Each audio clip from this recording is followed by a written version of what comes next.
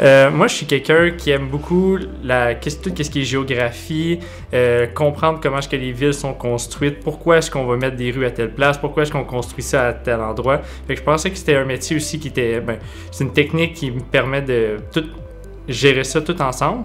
Puis aussi, euh, tous les débouchés aussi qui vont après la technique, c'est quelque chose de assez vague, mais c'est des métiers aussi qui te permettent de travailler à l'intérieur, de travailler à l'extérieur aussi, d'avoir un contact avec les gens. Ça, c'est important pour moi aussi.